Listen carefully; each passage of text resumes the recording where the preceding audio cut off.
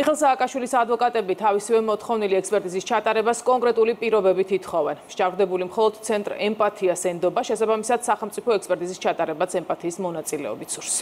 სპეციალური საგამოძიებო სამსახურისთვის, რომელიც მიხელ სააკაშვილის საქმეს სწავლობს, შეჭარბდებულის პოზიცია გაუგებარია. კოკა კაციტაძის სამსახურმა გამოძიება სწორედ სააკაშვილის ადვოკატების მოთხოვნის საფუძველზე დაიწყო. მიხელ სააკაშვილის მოთხოვნით დანიშნულ სამედიცინო ექსპერტიზაში მონაწილეობაზე მიხელ სააკაშვილს საკუთარი პირობები აქვს.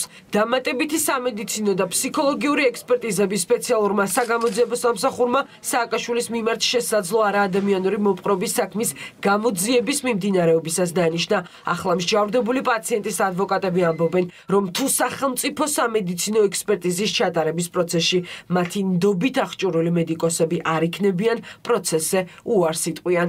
თუ ექსპერტიზის ჩამტარებელი პირების მიმართ რაიმე კითხვის ნიშანი იარსებებს სანდოობასთან დაკავშირებით, ასეთი ექსპერტიზის ჩატარებას ბუნებრივია აზრი არ ექნება. ბრალდებულის ადვოკატები ამტკიცებენ, რომ სააკაშვილის საქმეში ცენტრ ემპათიას გარდა სახელმწიფო ექსპერტიზის სამედიცინო დასკვნაც გაჩნდება. სასამართლოს კი სასჯელის გადავადების მოთხოვნის შემთხვევაში არჩევანის საშუალება ექნება. ანუ რა სჭირს სააკაშვილს შეკითხვას მარიამ ჯიშკარიანის არასამთავრობო ორგანიზაციის გარდა სამხარაულის ექსპერტებიც უპასუხებენ, რითაც ალტერნატიული აზრი გაჩნდება.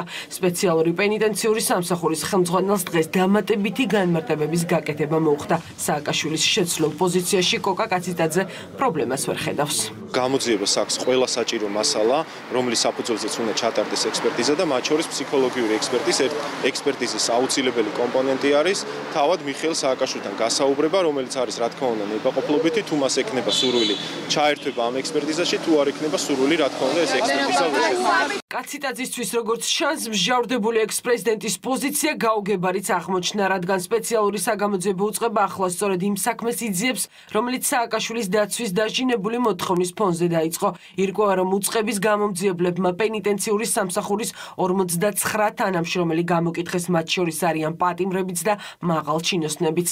ჩატარებული არის არაერთი საგამოძიებო და საპროცესო მოქმედება, მათ შორის დანიშნული არის 8 სახის ექსპერტიზა, ეს არის სასამართლო სამედიცინო ფსიქოლოგიური, ვიდეოტექნიკური, ჰაბიტოსკოპიური და ასე შემდეგ, რომლის ერთადერთი მიზანიც არის გამოძიებისთვის საინტერესო საკითხებზე პასუხის გაცემა. ეს ექსპერტიზები დაინიშნა ადვოკატის მოთხოვნით, მათ მიერ წარმოქმნილი შეკითხვების საფუძველზე არანაირი კავშირი სხვა რაღაც მიმდინარე ექსპერტიზებთან არ აქვს, იმიტომ რომ ეს არ სწავლობს ამჟამინდელ მდგომარეობას. ვიდრე გამოძიება ადგენს ხომარ ყოფილა გადაცნობა სააკაშვილის გადაყვანის დროს და რამდენად ადეკვატურად უმკურნალეს მსჯავრდებულს გორის ჰოსპიტალში.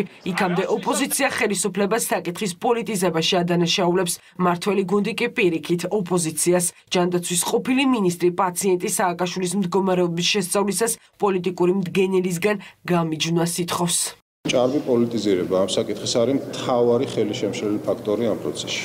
შვიდი დიასახლისის ხელში ბავშვი შეერჩებაო. რაღაც აი ამ ვითარებასთან გვაქვს საქმე. მის ჯანმრთელობასთან დაკავშირებით არის პოლიტიზირებული გადაწყვეტილებები.